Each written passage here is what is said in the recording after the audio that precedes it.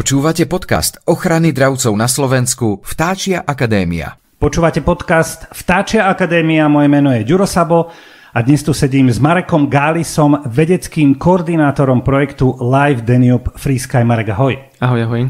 No, Marek, my sa nejdeme rozprávať len o takých e, absolútne bežných veciach, ktoré sa dotýkajú vtákov a ideme sa rozprávať o tom, ako laicky povedané elektrické vedenia škodia vtákom a zároveň ako vtáky škodia elektrickému vedeniu a tým pádom vlastne aj nám ľuďom. Sedí? Áno, sedí, sedí. Toto je trošku taká ako malinko väčšia téma, ale veľmi, veľmi zaujímavá. A na úvod sa ťa opýtam informáciu, ty ako odborník na vtáky, vieš nám prosím ťa povedať, aké vedenia elektrického prúdu alebo elektriky sú na Slovensku? Na Slovensku máme dva typy elektrických vedení keď to zoberieme tak veľmi jednoducho, to no. sú distribučné a prenosové. Aha. A len tak pre zaujímavosť je ich okolo 35 tisíc km dokopy. Na celom Slovensku? Áno, na celom Slovensku. Čiže je to pekná sieť, ktorá samozrejme je hustejšia najmä v blízkosti obývaných oblastí a blízkosti vlastne priemyselných nejakých parkov. Čiže tá koncentrácia narastá čím bližšie ideme k nejakým oblastiam, ktoré sú teda osídlené a mm-hmm. kde teda tá elektrina je potrebná. Aj distribučné, aj prenosové vedenia spôsobujú problémy? Oba typy spôsobujú problémy. Môžeme si to zase ale rozdeliť na také dve roviny a to je teda, že aké problémy spôsobujú tie distribučné a prenosové. Dávaj. Ak, ak to zoberieme z hľadiska zásahov, teda keď vták si sadne a dostane tzv. nejakú šlehu, čiže zabije ho elektrický prúd, tak tam e, väčšiu rolu zohrávajú tie distribučné lebo tie konštrukčné vzdialenosti sú menšie. Čiže tam, keď ten vták sadne, je schopný prepojiť napríklad dva drôty, keď to povieme veľ, veľmi jednoducho, alebo prepojí takú železnú konzolu a drôt. Čiže vtedy dostáva zasah prúdom. Dobre, ale, ale to je asi vtedy, keď dajme tomu tie, tie káble, tie mm-hmm. hrubé káble, nie sú veľmi vzdialené od seba, hej? Lebo, lebo ty ich musíš spojiť, aby si dostal šlehu. Čiže a... vták si sadne a chvostom, dajme tomu, sa dotkne? Ve- väčšinou to prepája krídlami, Krídla. taký ten najbežnejší spôsob. A, áno, samozrejme, tam všetko zohráva tú rolu, alebo teda to, že či naozaj to vedenie je rizikové z pohľadu zásahu prúdom, sú tie konštrukčné vzdialenosti, preto práve tie distribučné. Taký ten bežný stĺp 22 kV, taký ukážkový mm, príklad je teda, že naozaj to je tzv. jednozáves, čiže tam sú tri drôty usporiadané na tejto konzole a tam keď si ten tak sadne, tak dostane ten zásah prúdom. A naopak, v prípade tých prenosových vedení, tam tie konštrukcie vzdialenosti sú obrovské, čiže tam je to naozaj, to sú tie najväčšie stožiare, ktoré sú na našich poliach veľkosť 30-40 metrov na výšku, čiže to sú fakt obrovské e, konštrukcie a tam tie vzdialenosti sú tak veľké, že ten vták, pokiaľ si sadne na akúkoľvek časť e, toho vedenia, tak ten zásah prúdov mu nehrozí. Aj keby roztiahol krídla. Aj keby, Čo, aj keby sa veľmi snažil, aby ho zasiahol. Čokoľvek, aj keby sa veľmi snažil, tak Jasne. ten zásah prúdov nedostane. A, a naopak, potom tie vedenia, čo majú spoločné, to sú nárazy. Či je to prenosové vedenie alebo distribučné, akékoľvek, keď to poviem laicky, akýkoľvek drôt, ktorý je natiahnutý v krajine, môže spôsobiť riziko nárazu a v prípade tých distribučných vedení aj prenosových to riziko je v podstate totožné. Tam skôr závisí od toho, kde je to vedenie lokalizované z hľadiska nejakých tých biotopov, ktoré sú atraktívne pre tzv. náchylné druhy vtákov. Mm-hmm. Čiže to sú vtáci, ktorí majú nejaké predpoklady hľadiska stavby tela, z hľadiska svojej nejaké morfológie, fyziológie a sú rizikové z pohľadu nárazov a vtedy je úplne jedno, či je tam distribučná linka alebo prenosová linka, ako nohle je tam nejaký drôt, keď to poviem veľmi, veľmi laicky, ktorý im križuje tú migračnú trasu alebo trasu, ktorú vykonávajú denne za, za účelom e, lovu potravy, tak e, je tam veľmi vysoké riziko nárazu. Dobre, ale vydrž. Skúsme to teda premeniť na dve veci. Čiže prvá je ten zásah tým napätím, tým mm-hmm. prúdom. To znamená, že toto je situácia, ktorá je keď sa to opýtam hlúpo, koľko vtákov takýmto spôsobom zahynie, alebo, alebo to percento je vyššie alebo, alebo nižšie? My sme robili pár rokov dozadu monitoring, systematický monitoring, čo je dôležité zdôrazniť, že to bolo systematické kedy sme sledovali mortalitu vtákov e, na distribučných vedeniach. Z výsledkov nám vlastne vyplynulo, že vyše 80% vtákov hynie dôsledku zásahu prúdom. Sú to najmä dráve vtáky, ktoré využívajú tie stĺpy v podstate ako náhradu za stromy, ktoré najmä v otvorenej polnospodárskej krajine chýbajú. Čiže ten stĺp distribučný 22 kV mu v podstate nahradza ten strom A pokiaľ ten, ten stĺp nie je izolovaný, nie je bezpečný, tak tam to naozaj to riziko toho zásahu je veľmi vysoké. Čiže ja som dravec, sadnem si, aby som si oddychol, alebo nebude aj tam idem hniezdiť? Skôr to využívajú na oddych, prípadne na lov, lov koristi, lebo Aha, tým, tým, že tie stĺpy sú častokrát teda v tých, tých poliach, kde doslova, my to voláme, že ten stĺp je špajzy, čiže ten tak má okolo seba e, plno potravy, čiže využíva na taký zrychlený lov. A častokrát aj keď uloví tú korist, tak potom si sadí na ten, na ten stĺp, na tú konzolu a tam vlastne konzumuje tú, tú potravu a vtedy tam vlastne nastáva to riziko, najmä teda počas toho príletu alebo odletu, kedy ten vták rozťahuje tie krídla, potrebuje sa e, buď pristať alebo teda vzlietnúť a vtedy je tam šanca, že môže prepojiť uh, tie dva drôty. A energetici vedia s týmto niečo robiť? Vy, vy máte nejakú lokalitu vytipovanú, niekam zavoláte a poviete, dobrý deň, teraz tu je tento problém, tam a tam, skúsme to nejako vymyslieť a oni prídu a niečo urobia? Nie je to také jednoduché. No to mi je jasné, veď preto, preto ono, sa pýtam. Ono, ono, tá spolupráca je výborná a aj v prípade týchto zásahov prúdom tá spolupráca je vynikajúca. A bavíme sa o kom spolupráca? Povedzme si, s kým je výborná Môžeme povedať vo všeobecnosti energetické spoločnosti, Super. distribučná aj prenosová, ktoré teda sú na Slovensku, uh-huh. Tak veľmi zodpovedne a veľmi pragmaticky pristupujú k riešeniu problematiky, čo, ktorá sa vlastne vzťahuje na ich elektrické vedenia. A môžeme určite vyzdvihnúť v prípade distribučných spoločností, tam hlavne teda nastáva ten problém tých zásahov prúdom, čiže tam, tam tá spolupráca takisto prebieha na veľmi vysokej a veľmi kvalitnej úrovni. Pokiaľ teda my indikujeme alebo identifikujeme, že nejakom, nejakej lokalite je problém, že treba tam napríklad uhynul orol kráľovský alebo sokol rároch, to sú mm-hmm. také tie zácnejšie druhy na Slovensku, ktoré máme a ktoré teda patria medzi veľmi časté obete zásahu prúdom, tak tam potom energetická spoločnosť pomerne rýchlo príjma opatrenia, pokiaľ teda ten stĺp naozaj je rizikový alebo teda tam dochádza k opakovane k, k tým úhynom. Je potrebné si povedať, že fakt tých stĺpov máme niekoľko desiatok tisíc na Slovensku. Jasne. Väčšina tých stĺpov je už ošetrená. Čo je skvelé, je, že každý nový stĺp, ktorý pribudne do krajiny, už musí byť bezpečný. Čiže, Aha, už tá... čiže nové, nové stĺpy už sú Áno. Okay. Automaticky musia byť bezpečné, či už z hľadiska konštrukcie tej konzoly, čiže tam ten vták, pokiaľ si aj sadne, tak je v podstate bezpečí, alebo potom dochádza k tomu, že tie existujúce stĺpy sú tzv. ekologizované, alebo teda dochádza k inštalácii buď ochranných prvkov, alebo ich izolovaniu. To percento ošetrených stĺpov sa každoročne zvyšuje. Je to aj teda vďaka zásluhe e, energetických spoločností, že naozaj veľmi zodpovedne pristupujú k tejto problematike. Ale ako som povedal, tých stĺpov je niekoľko desiatok tisíc, čiže vyberajú sa určité priority. My napríklad aktuálne teda... E, priority podľa toho, kde tie vtáky sa nachádzajú, kde, kde hniezdia, kde lovia, kde, kde fungujú. Tak, tak v prípade tých zásahov uh, určite je cieľom ošetriť všetky tie stĺpy, ale teda musí sa ísť postupne a teda presne vyberajú sa biotopy, ktoré sú atraktívne pre vtáky, alebo napríklad sa vyberajú stĺpy, ktoré sú v blízkosti treba z hniezdisk orla kráľovského sokola Raroha, kde teda vieme naozaj indikovať, je tam vysoký predpoklad úhynu, najmä napríklad mladých jedincov, ktoré vylietávajú z hniezd a častokrát ten, ten stĺp je v podstate prvý taký bod oporný, kde si môže ten mladý vták sadnúť, odpočinúť, alebo teda roz, rozťahnuť. Roz, roz, rozkúkať sa, tak. zistiť čo ako. A vtedy, vtedy tá mortalita u tých mladých jedincov je veľmi vysoká a ideme teda touto cestou, že v určitých bafroch okolo týchto lokalít sa prioritne inštalujú tieto chráničky, aby teda tie mladé jedince boli chránené počas tých prvých príletov. Ty hovoríš chráničky, tak povedzme si, akým spôsobom je ochránený stĺp Respektíve je zabezpečený stĺp, aby chránil dravca, ktorý si sadne, aby, aby nedostal zásah. Ja by som začal trochu z také histórie, Poď, aby, sme to, aby sme to trochu vysvetlili, že prečo sa to volá už chránička. Aha. V histórii, keď sa začínalo, to bolo okolo 80. 90. roky, tak išlo sa skôr cestou, že poďme brániť tým dravcom sadať na tie stĺpy. Nebolo to iba na Slovensku, bolo to v podstate taký celoeurópsky, celosvetový trend. E, inštalovali sa tzv. buď hrebenie alebo nejaké také ostne, niečo ako proti, aby, proti aby holubom. nesadol. Áno. áno, aby tam ten vták nesadal, lebo teda teória bola taká, že pokiaľ tam nesadne, tak nič mu nehrozí. Problém bol v tom, že on si potom chudák nemal kam sadnúť, ten vták a ten dravec najmä v tej krajine. Čiže potreboval si tam sadnúť tak či tak a veľakrát sa tým, že tam ťarbovo pristával, teda manévroval, nevedel, čo má spraviť, tak v podstate... Dostal tie... zásah tak či tak. Áno, to, čo ho malo chrániť, nakoniec mu ešte viac škodilo.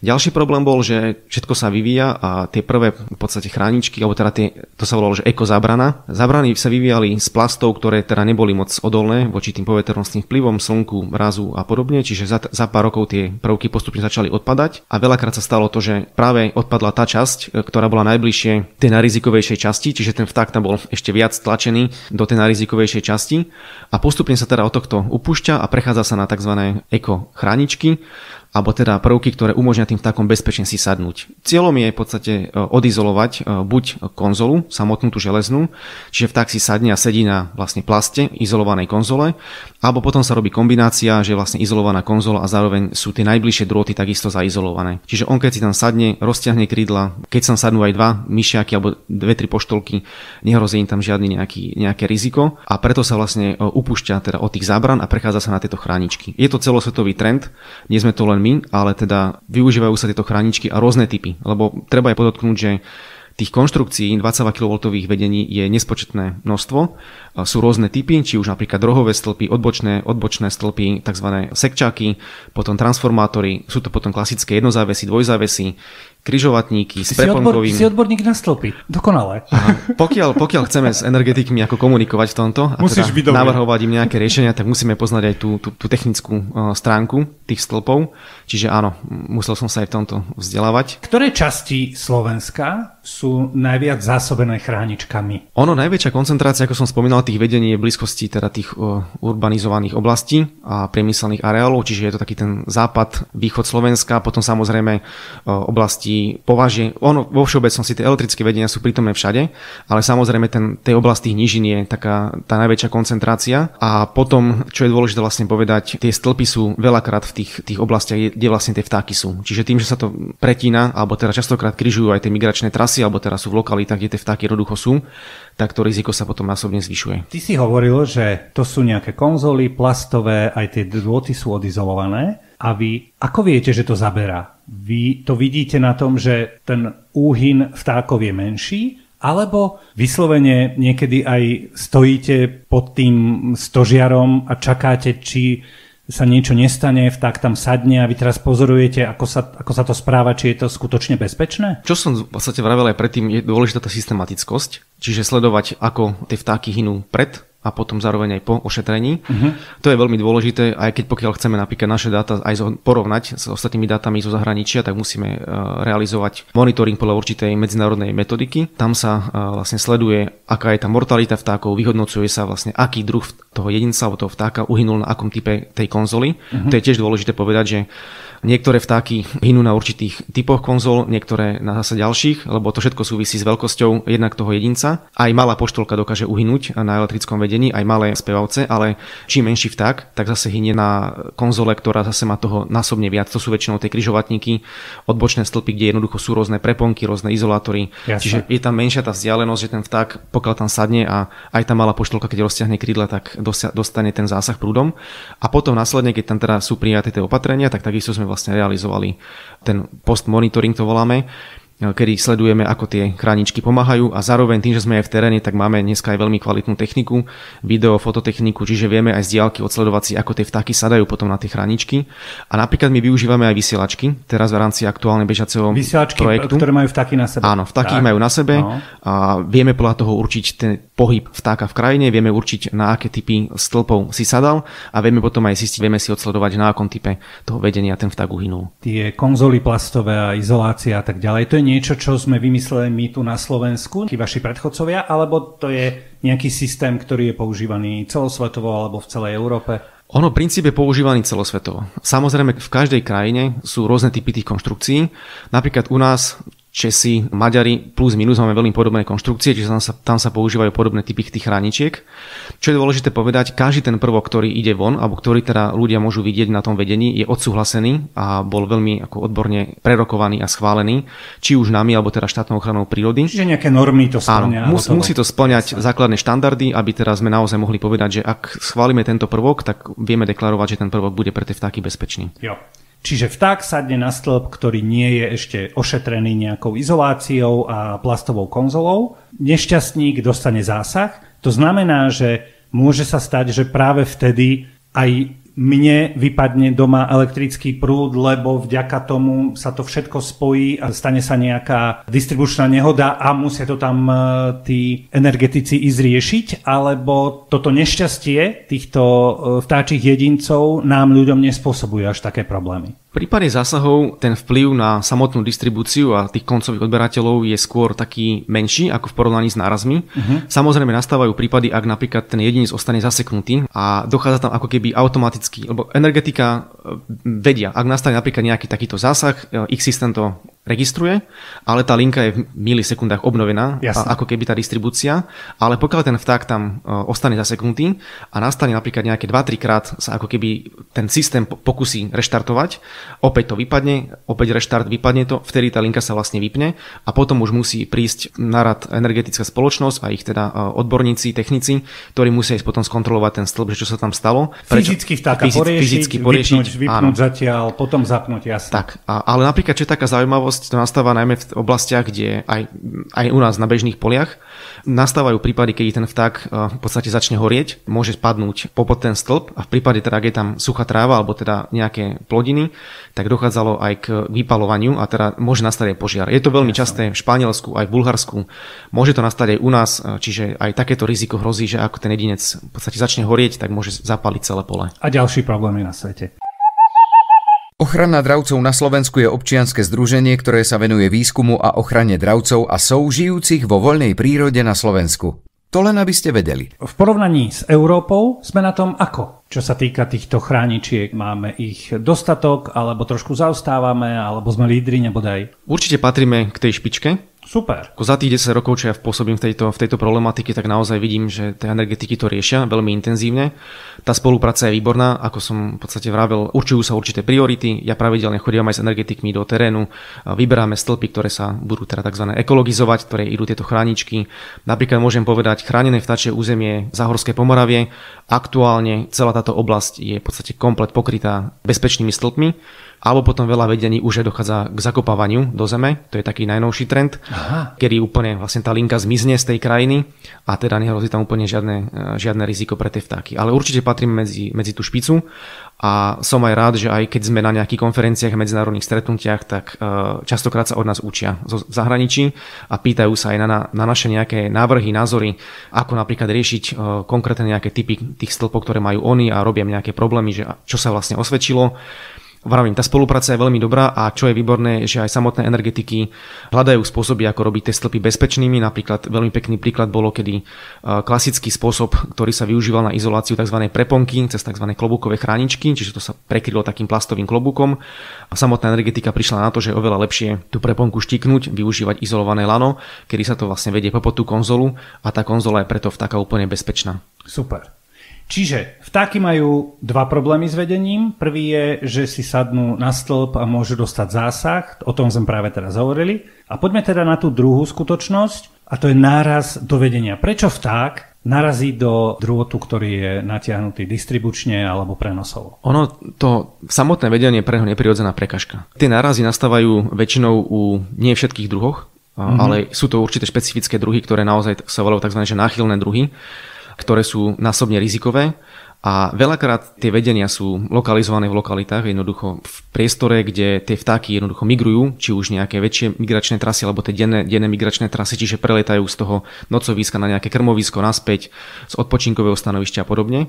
Čiže tam, ako náhle to vedenie križuje mu túto trasu, tak ten vták naraža. Problém je v tom, že niektoré tie jedince, napríklad najmä napríklad labuť, volavky alebo trebárs aj bociany, žiaľ majú takú stavbu tela, že tie jedince si nie sú niekedy schopné všimnúť si toto vedenie. A napríklad veľmi špecifickým príkladom je labuť a najmä napríklad vtáky, ktoré sa zgrupujú do tzv. krdlov. Môžeme si to kľudne predstaviť, ako keď človek ide v rámci nejakej kolóny aut uh-huh. a ako náhle to prvé auto zaregistruje nejakú tú dieru, vymol na ceste, spraví myšičku, len tým, že sme my pomerne tesne blízko neho, nie sme schopní veľmi rýchlo zareagovať a tu jamu vlastne chytíme. Alebo keby to stočíme doľava doprava, hrozí, že napríklad narazíme do nejakého toho susedného auta. Čiže jasne. takýto istý princíp nastáva v prípade tých uh, vtákov, keď prekonávajú vedenie a sú v krdli, že tie prvé jedince tú, tú linku väčšinou zaregistrujú, dokážu pekne nadletieť, podletieť, ale čím viac sa blížime do stredu a koncu toho krdla, kde tie vtáky sú viac nahustené a majú menší ten reakčný čas, tak naražajú do tých vedení. Zároveň teda tieto napríklad nárazy nastávajú väčšinou tak ráno večer, kedy tie vtáky jednak odlietajú na tie krmoviská a potom naopak, keď sa vracajú naspäť, slnko začína zapadať, sú oslepované tým slnkom, alebo teda už t- tie svetelné podmienky sú trochu také, trochu také slabšie, uh-huh. čiže tie vtáky nie sú schopné dobre zareagovať na túto prekažku A potom veľmi dôležitým faktorom sú aj samotné počasie, či napríklad ich prekvapí počas toho odletu, napríklad dážď, silný vietor. Vietor, jasné. Takže jasné. Tam, tam je veľmi veľa vstupov, ktoré dokážu ovplyvniť a dokonca aj samotní ľudia dokážu ovplyvniť e, to, či ten vták uhynie. Ak napríklad vyplašíme vtáky na poliach, treba skrmiace sa labute, veľmi často v panike odlietajú, križujú to vedenie a dochádza k vlastným nárazom. Dobre, a labuť má zlý tvar hlavy alebo očí, alebo, alebo proste stavbu tela, že nevidí to na prvú? Keď... Alebo teda a plus iné vtáky, nie len ako labuť asi. Vo všeobecnosti sú určité skupiny vtákov, tzv. tie vodné druhy vtákov, napríklad brodivce, alebo teda labuť, bociany, kačice, volavky. Uh-huh. Keď si to predstavím, v podstate sú to veľké vtáky s veľkým rozpetím krídel. Jasné. Uvádza sa, že aj vták, ktorý má dlhý krk, čiže tá hlava je posunutá od toho ťažiska, takisto mu to zhoršuje tú manevrovaciu schopnosť. A problém je v tom, že tá labuť, alebo celkovo tieto väčšie vtáky sú uspôsobené na také skôr pomalé, pekné prelety po krajinke, vyhľadávajú si. pohyb. Tak, a tak. tak, jasné.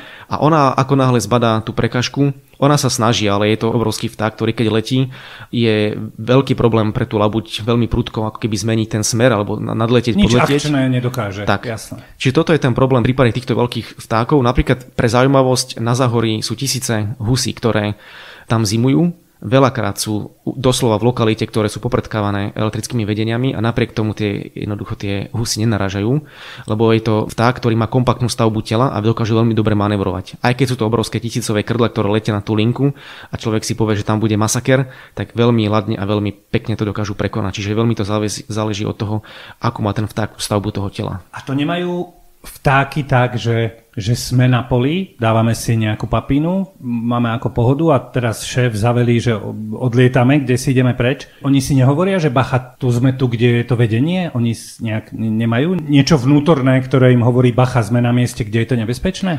Staršie jedince určite áno. Staršie jedince poznajú tú, tú, tú krajinu a teda tú lokalitu, kam prelietávajú. Ukazovalo sa napríklad, že najmä napríklad mladé jedince častokrát naražia do tých vedení, lebo nepoznajú, ano. nepoznajú to územie. Dokonca je taká teória, že aj napríklad tzv. zahraniční hostia počas zimovania, ktorí sem prilietajú, sú nachylnejšie z hľadiska týchto napríklad nárazov, lebo to územie nepoznajú, čiže je to pre nich niečo neznáme. Ale ono to vy, prepač, to vy často zistíte, keď už ten vták je uhynutý a má nejaký krúžok a poviete si jasné, priletel odtiaľ a odtiaľ. Aha. Jednak tak a potom zároveň teraz dokážeme určiť aj vek toho jedinca, vieme, či je to napríklad juvenil, ten mladý vták alebo dospelý Uh-huh. Čiže tam potom vieme v prípade tých labutí napríklad určiť, e, že áno. E, Čiže všetci títo sú rizikoví, e, tí, ktorí to nepoznajú, alebo tí mladí sú, sú najrizikovejší, čo sa týka tých nárazov. Je tam väčšie percento rizikovosti, že narazí. Nie je to samozrejme taká samozrejmosť, že ty si mladý a narazíš, alebo ty si zo zahraničia a určite tu uhynieš ale zvyšuje to nejakú tú, tú šancu, že ten vták môže naraziť do toho vedenia. OK, ale keď energetici vedia dať rôzne plastové zábrany srandy a izolovať e, tie stožiare, čo s drôtmi? Ako nájdete uhynuté vtáky, tak asi zase voláte, nie? Dobrý deň, teraz sa stalo toto, poďme to riešiť. Čo sa deje? Deje sa to isté, čo v podstate v prípade tých zásahov prúdom. Tam tá energetika opäť veľmi akčne a veľmi zodpovedne pristupujú aj k riešeniu k nárazom. Čo je dôležité si povedať, že nie všetky elektrické vedenia z pohľadu nárazov sú rizikové. V prípade tých stĺpov, áno, tam je ideálne teda ošetriť tej konzoly čo najviac, v čo najväčšom počte. V prípade tých nárazov, tam je potrebné si povedať, že ak napríklad mám 5 km linku, tak častokrát sa stane, že len jedno, dve rozpetia nejakých 400-800 metrov sú rizikové a tam tá energetika príjma nejaké opatrenia. Čo je skvelé je, že sa napríklad nám v rámci Slovenska podarilo vytvoriť špeciálnu metodiku, kde vieme presne energetikom povedať, že keď zoberieme taký balík vstupov, či už napríklad tých krajina, potom aký vták tam sa nachádza, aká napríklad je tam tá vodná plocha, ako je napríklad orientované to elektrické vedenie, či križuje tú migračnú trasu. Vieme im potom povedať, že pozor, v rámci toho vedenia, ktoré máte 5 km dlhé, tak tieto dve rozpetia sú rizikové, tam treba inštalovať tie tzv. odkloňovacie prvky. Aha, čiže podľa tej krajiny a podľa všetkého náokolo vy vytipujete, že toto je problém. No, dá, sa, a, dá sa to. Dá a, sa to. a poviete im to a oni čo povedia? Sú dve v podstate možnosti, alebo teda dve, dva také postupy. Toto sa im hovorí buď na začiatku, kedy sa ešte plánuje napríklad výstavba nového vedenia alebo mm-hmm. rekonštrukcia, alebo potom naopak v prípade napríklad, keď sme robili nejaké väčšie projekty, Našim cieľom bolo pomôcť energetikom a vytipovať tieto rizikové úseky a tam sa potom inštalujú tzv. odkloňovacie prvky. Ideálny určite prípady vtedy, keď energetika ide budovať nejaké nové vedenie, oslovia nás, my im dáme teda odborné stanovisko, povieme im, na tieto úseky treba určite inštalovať tieto prvky. Stáva sa niekedy, že tieto úseky napríklad sú v takom otázniku, tam to bude treba odsledovať a potom dodatočne niečo vyinštalovať, ale vieme im takto veľmi presne povedať a ušetriť im jednak hlavne čas, lebo tá inštalácia je veľmi náročná a zároveň ušetríme aj veľký balík peňazí, lebo tie prvky naozaj sú drahé, aj samotná inštalácia je pomerne drahá. Odkloňovacie prvky si povedal? Áno. To sú aké? To sú také v podstate prvky, ktoré sa vešajú na tie lana. Nech si ľudia predstavia niečo ako, ako prvok, ktorý je na tom lane a jeho úlohou je ako keby zviditeľniť to vedenie alebo odkloniť toho vtáka. To sú také tie červené lopty? Červené lopty to je taký ten typický príklad, ktorý sa ľudia väčšinou pýtajú. No a je to ono? A áno, a, áno aj nie. On, ono, ono to slúži prioritne pre tú leteckú dopravu, ale teda Aha to, ale zároveň to pomáha Zároveň to pomáha aj vtákom, ale veľmi zjednodušene. Ono... No červené lopty, vieme o čom hovoríme, áno. nie sú to červené lopty, ale keď Veľ... to človek vidí, tak, tak prvé, čo ho napadne. Sú to veľké letecké gule, kombinácia červená-biela, alebo teda uh, nejaké iné farby, napríklad Rakúsku je čierna-biela, ale teda v princípe odkloňovacie prvky také tie najefektívnejšie, alebo teda tie, ktoré sú určené prioritne pre vtáky, ešte splňajú ďalší nejaký parameter a to je, že sú dynamické. Tá dynamika, keď ten prvok sa vrtí, alebo sa napríklad nejaká časť e, toho prvku ako keby pohybuje, Vydáva vo, vo vetre. odraz svetelný a tak ďalej. Áno, to je ďalšia vlastnosť, teda reflexnosť a potom veľmi dôležitá vlastnosť je viditeľnosť e, v noci. Niektoré tie prvky sú schopné ako keby nasať tú energiu slnečnú počas dňa, večer dokážu svietiť až 8 hodín, čiže aj pre tie vtáky, ktoré migrujú v noci, alebo teda ktoré loja v noci, to vedenie je vlastne bezpečné. Ty si spomínal otáznik. Že teda máte vytipované mhm. miesto mm-hmm. a, a niekde si dáte otáznik, že to musíte ešte odsledovať, či je to teda mm-hmm. rizikový úsek alebo aký to sledujete ako? Máte dennú, nočnú, stojíte tam, sedíte, ležíte a sledujete, čo sa deje? Áno, to realizujeme my sami, alebo teda máme na to vyškolených mapovateľov v rámci projektov, keď teda máme takéto projekty. Priorita je byť tam ráno a večer. Ako som spomínal, v podstate pri e, východe a západe slnka. To tie, sú tie, tie rizikové časy. To sú rizikové časy, plus minus ten, ten samotný monitoring trvá dokopy 2 hodiny ráno, 2 hodiny večer. Počas dňa samozrejme niekedy sú, pokiaľ tento vedenie je naozaj atraktívne, alebo teda tá lokalita je atraktívna pre vtáky, sú tam tie prelety, tak je tam aj denný monitoring, ale teda ranný, večerný. Máme mapovateľov, máme techniku, kamery, nočné videnie, čiže vieme takto odsledovať, ako tie vtáky reagujú. A na toto je taká špeciálna metodika, kde sa opäť zaznamenáva 8 e, typov reakcií vtákov na to vedenie, reakčná zóna, čiže v akej vzdialenosti ten vták napríklad reaguje. A potom podľa toho, keď to vyhodnotíme, vieme povedať, že ten úsek jednoducho áno, je takisto rizikový, potrebné ho napríklad doošetriť, alebo naopak je to úsek, kde síce napríklad došlo k nejakým nárazom, ale tie nárazy sú veľmi sporadické alebo veľmi náhodné. Ono v prípade, ak napríklad nastávajú nejaké nárazy, je dôležité rozlišiť, či ten úsek je v podstate rizikový pre tie vtáky opakovane, alebo naopak jedná sa iba o nejaký náhodný sporadický nález. Vtedy e, je to ten otáznik, kedy si odsledujeme ešte nejakých ďalších obdobiach, či tie vtáky tam pribúdajú alebo nie. A podľa toho potom vieme vlastne povedať energetikom, áno, tu treba niečo docvakať, nie, toto netreba, je to naozaj veľmi, veľmi sporadický uhyn a tam nejaké opakované riziko už nehrozí. Kto to platí? Všetko. Platia to energetické spoločnosti, oni majú vlastne také vlastné environmentálne fondy. No lebo predpokladám, že to nie je otázka pár tisíc eur.